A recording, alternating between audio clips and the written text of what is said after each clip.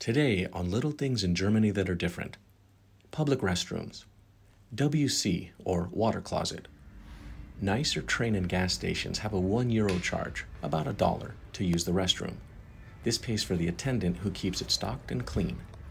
The receipt can be used for a 50 euro cent discount on purchases in the convenience store. Restaurants and hotels do not have this setup, but there might be a donation plate out for the housekeeper. Fancier restrooms have urinals with advertising screens, self disinfecting rotating seats, and a toilet brush.